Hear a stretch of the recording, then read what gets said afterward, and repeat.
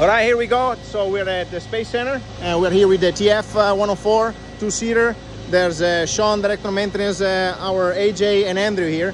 We have uh, just finished at uh, inspection on the hydraulic system and uh, there's an opportunity to see some of the system open up uh, that rarely has been seen before. Um, so what we're having here, we're testing and there's AJ on the back seat. Sean is here. That's one of the two angle of attack probes which we talk extensively um, in other videos. We're gonna see if, uh, if uh, Sean moves it a little bit forward. Go ahead, Sean. And so increases the angle of attack as you see. We're gonna see this index here coming up as you see now. Now around four, 4.5, you would get the shaker and then at five, the kicker. Uh, I'm gonna ask AJ to move the flight controls back and forth. We're gonna see, and the aircraft obviously has hydraulic and electric now.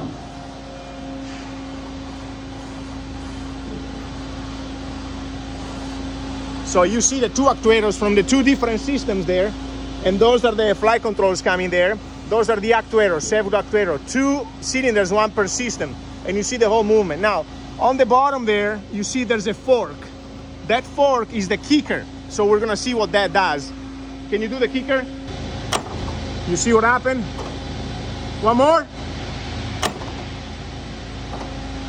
So what that does, uh, it basically pushes the stick forward and that reduces the angle of attack. That's a system that the aircraft feels you're going beyond the angle of attack. It doesn't want you to stall, and it helps you pushing the stick forward.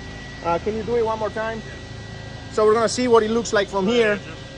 You're gonna see this going to five or close to it, and you're gonna see the stick moving forward. Three, four, that's it. And then you can overpower it, go for it. Here, there's a paddle switch in front that if you push it, you, you uh, cut out the system. You see now it's working?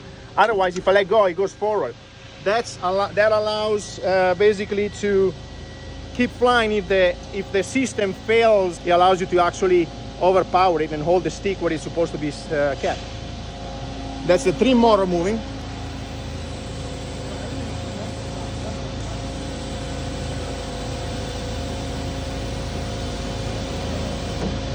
That's a good uh, chance to see the trim motor moving. Now this system here is contained in a very, very small space, very, very uh, thin, obviously, the, like every other surface. So for the complexity of the system, it was called the Cadillac because that whole system there used to cost like a whole Cadillac at that time when the, you know, we're talking in the, on the 60, obviously.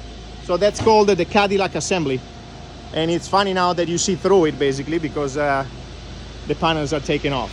All right, that's it for today. Hope uh, Hopefully you like it and uh, remember to subscribe if you think uh, these videos are interesting.